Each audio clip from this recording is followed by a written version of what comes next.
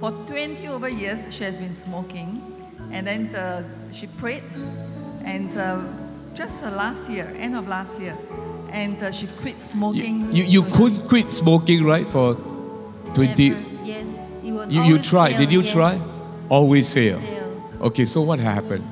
So I actually, um, when I get to know God, and then um, I pray to Him. Hmm. I pray to Him. I say, Jesus, um, if you willing, take away and totally remove my addiction of smoking. So now, what? You don't have an urge even to smoke. No, not at all. The addiction was the during the healing, as in the quitting part, the addiction was totally not there. So there was you did not have cold turkey experience, No, no no side effects, no, n- not at all. as though you you you you are not an addict to sm- Yes, smoke that's smoking. Right, yes. Ah. Totally, totally removed away from my. Uh huh. I